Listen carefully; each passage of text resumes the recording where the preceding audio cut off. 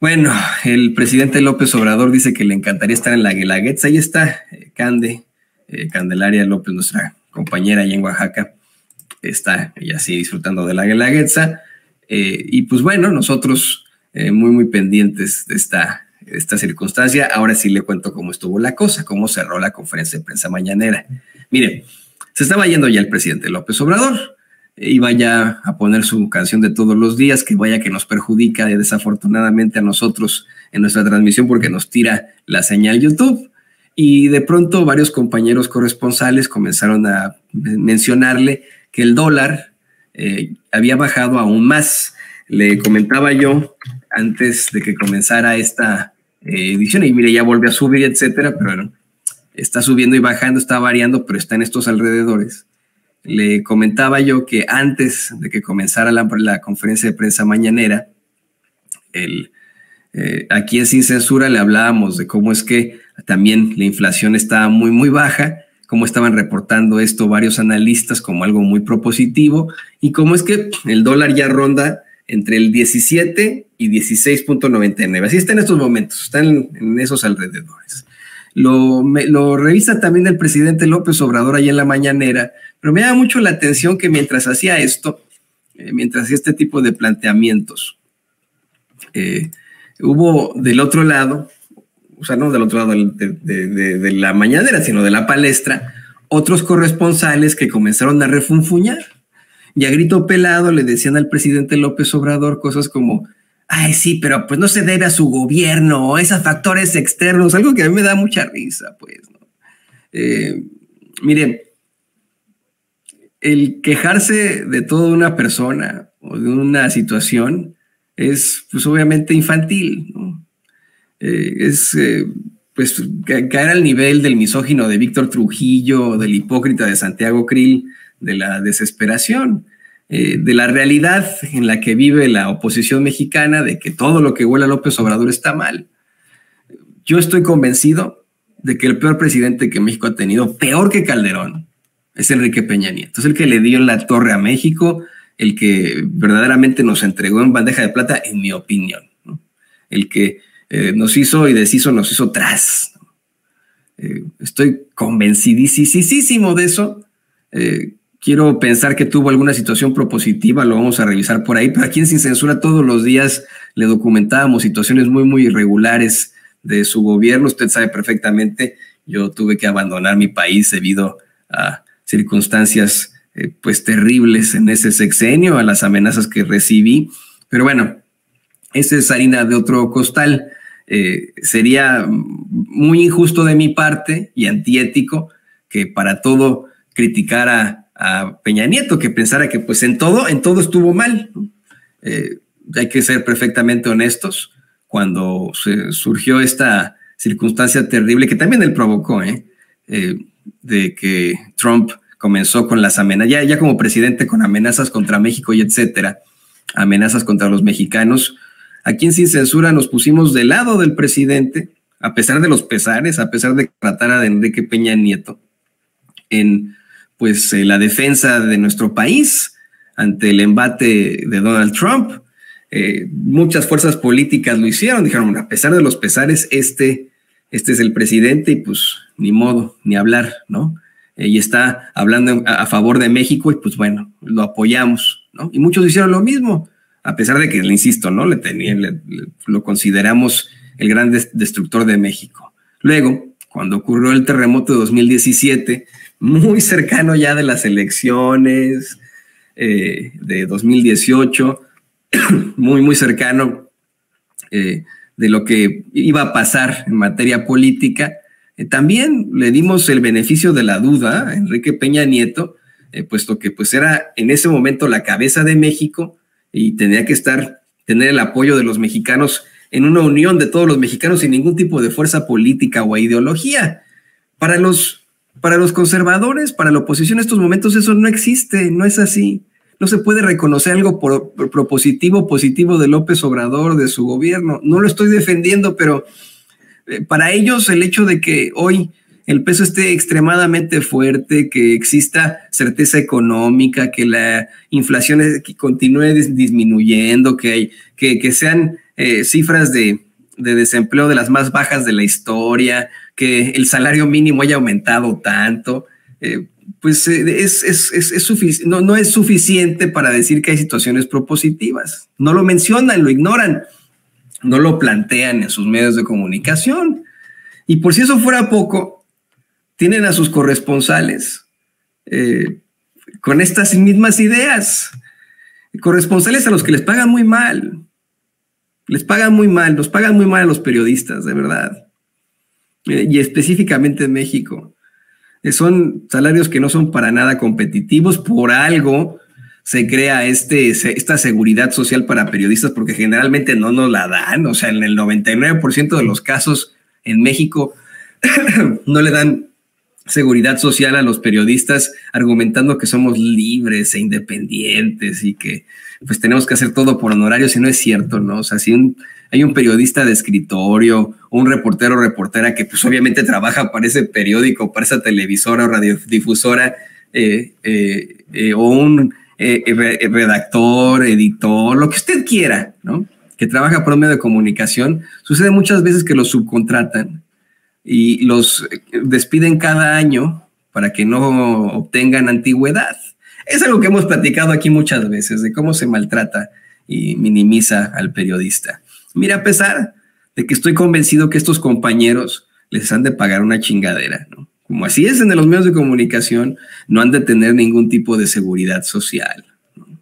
Los han de tratar con la punta del pie, porque así es en los medios de comunicación, así de, de pendejo, pendeja, cabrón, cabrona, hijo de la chingada, a ver dónde están mis notas y etcétera. Así es, ¿no? Este de, no quiero que te vuelvas a equivocar, cabrón, y cosas así, ¿no? Eh, así son, ¿no? Así es en los medios de comunicación. Eh, eh, a pesar de los pesares, van a la conferencia de prensa mañanera a defender las ideas de los patrones, de los dueños de los medios de comunicación, ¿no? O sea, imagínense, es algo claro, ¿no? Que es inexplicable para cualquier economista de derecha que verdaderamente no, podrían, no podría ser causa de ataque pero es algo claro que es muy propositivo que la divisa de un país sea poderosa y, tenga, tenga fortaleza. Eh, de todas formas, ellos dicen que es negativo, ¿no? O sea, que, que el hecho de que el, el, peso esté fuerte o es negativo o no es gracias a López, como ellos le llaman, ¿no? Esto no se debe a López, así dicen. Y cuando el presidente López Obrador empieza a burlarse de sus adversarios en la mañanera y a poner cómo está el dólar en estos momentos. Yo de verdad no me entiendo cómo es que hay compañeros que refunfuñan, dicen, es que esto no es gracias a su gobierno. Mira, ahí está. No es gracias a su gobierno, no manche, que no sé qué. Entre ellos, Mara, eh, Mara Rivera de Enfoque Noticias a quien el presidente le pregunta, ¿y tú de qué medio vienes? No, pues que de enfoque noticias. Ah, pues mira, eh, eh, ya sabemos lo que representa tu medio, ¿no?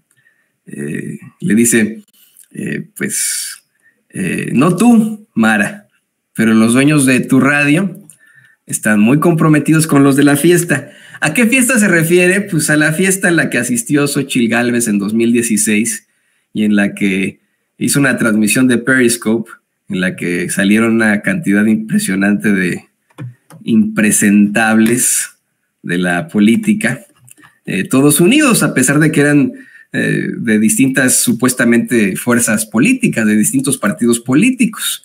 Hoy pusieron ese video en la conferencia de prensa mañanera.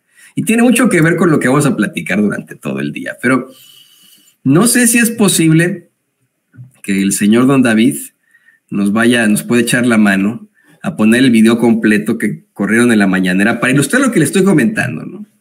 Y esta declaración durísima que hace el presidente López Obrador a Mara Rivera de Enfoque Noticias. No tú, pero los dueños de tu radio están muy comprometidos con los de la fiesta. Eh, es, eh, mire, eh, si, si no, tenemos el video nosotros desde ayer de la fiesta de Xochitl Galvez, don David. También hace rato lo había comentado yo, lo pusimos como los cortes que estamos haciendo de las quién es quién de las mentiras de la semana. Eh, ahorita le digo cuál, cuál vendría siendo, pero insisto, ¿no? Es, pues es, es chistoso como es que son estos personajes los que desafortunadamente continúan pues dominando la, la, idea, dominando la, realidad de la, del poder en México, eh, eh, algo que resulta eh, terrible. Te le digo cuál es, si, si a, lo mejor ya tienen los cortos, pero es el, sería el 16, no sé si se tenga por el 16. A ver, adelante, vamos a ver esta, esta parte del quién es quién de las mentiras de la semana porque ahí ya eh, Ana Elizabeth García Vilchis y el equipo del presidente López Obrador identifica varias de las caras. Ayer Vicente y yo batallábamos un poco porque la imagen es un poco difusa, eh, tiene, está muy pixeleada, muy, muy pixeleada por ahí. ¿No? Entonces decíamos, ¿será este, este? ¿Será que, bueno, ya definieron de quién se trata? Le voy adelantando. Es, dicen que entre estos está Salinas de Gortari, Calderón, Luis Carlos Ugalde, sí, sí, sí, Luis Carlos Ugalde, señoras y señores, quien fuera eh, consejero presidente del IFE, Luis Carlos Ugalde, José Antonio Mit, Porfirio Muñoz Ledo, Jorge Castañeda, Carlos Slim, Roberto Hernández, Fernando Gómez Montt,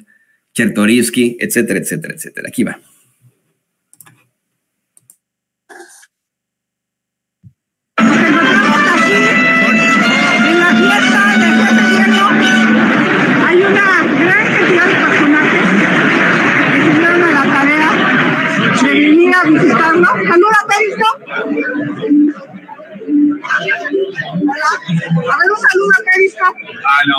¿Qué pasó, doña Periscope? ¿Cómo está usted? Ah, estamos portando bien, ¿eh? Para que no haya ningún, ninguna duda.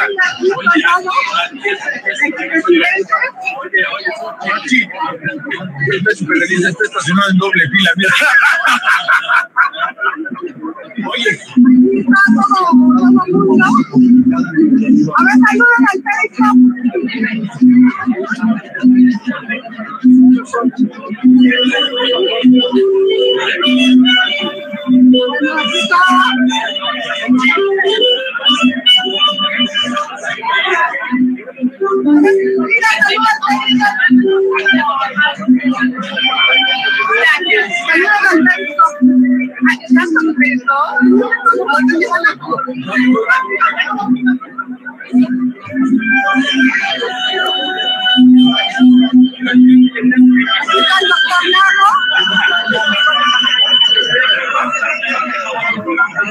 you Saludos al Periscope. Hola.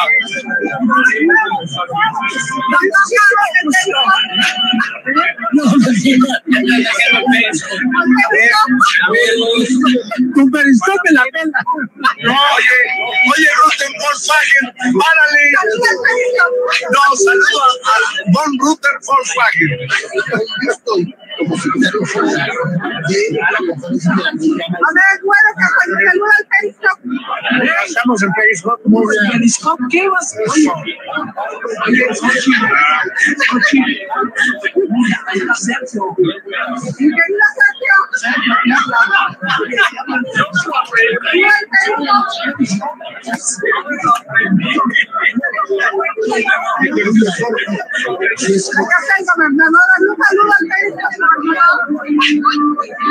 A la mejor delegada de todo en la Ciudad de México, Xochitl Galvez. Bueno, está aquí en grande la... Muchos, muchos personajes se dieron a la tarea de visitar. Pero el festejado, ¿dónde anda? Venga para acá, una foto, una foto con mi delegada. A ver, aquí con el. A ver. En una silla de maravilla.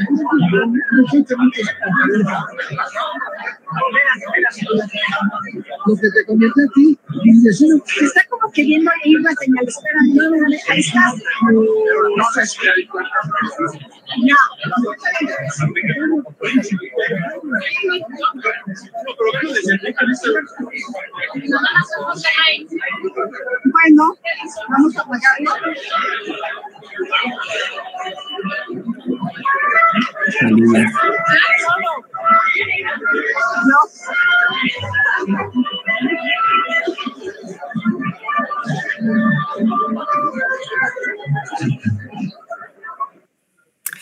Miren, ¿qué demostraba en aquel entonces este video? ¿Qué es lo que nos, nos saltaba a la vista este video? Punto número uno, que es una mentira que exista diferencias entre eh, esos partidos, desde el principio. Eh, en ese entonces todavía los veíamos en TV Azteca, en Televisa y en los nuevos medios que estaban surgiendo por ahí, disquementarse la madre y enfrentarse el uno al otro.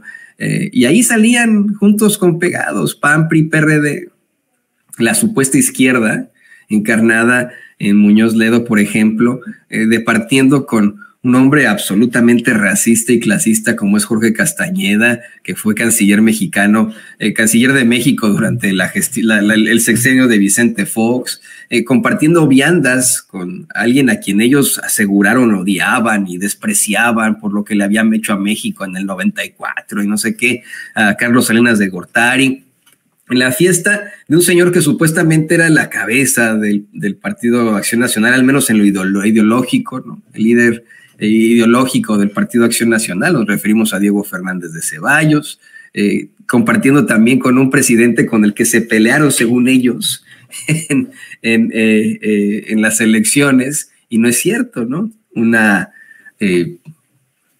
pues situación completamente ajena a, la realidad en cuanto a un Felipe Calderón con el que están ahí, pues ya duro y dale, bien entradazos con las de José José.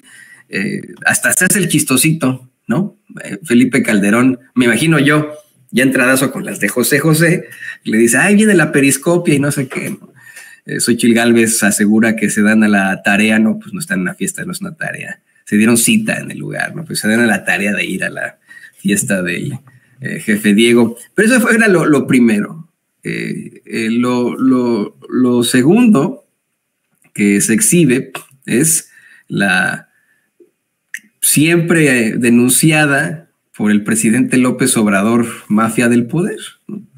Ellos decían, ay, es que López Obrador se inventa eso del complot, se inventa lo de la mafia del poder. ahí estaban, ahí estaban, claramente partiendo políticos, no solamente de distintas, de distintos partidos, eh, sino empresarios, todos juntos, todos ellos, ahí, uno con el otro, hombro con hombro, ahí andaban eh, todos ellos. Por eso es que, antes de que vayamos a la siguiente parte y a cómo se burla de Santiago Krill, etcétera, me pareció durísimo que el presidente López Obrador eh, cuando refunfuñan algunos compañeros corresponsales luego de que les restriega que el peso esté tan fuerte frente al dólar, que haya llegado al 16.99, creo que ya regresó a 17, pero que esté en ese fluctuante, ¿no? De que esté a punto de, ya eh, quedarse en los 16 eh, pesos por unidad, por dólar, es decirlo, es decir, así. Eh, y que una de las compañeras eh, fuera a defender a su medio y a decir que no es gracias a su gobierno, sino que es gracias a factores externos y no sé qué. López Obrador le responda, ¿de qué medio vienes? Ah, sí, no tú, pero los dueños de tu radio están muy comprometidos con los de la fiesta. Devastador, ¿eh? Devastador.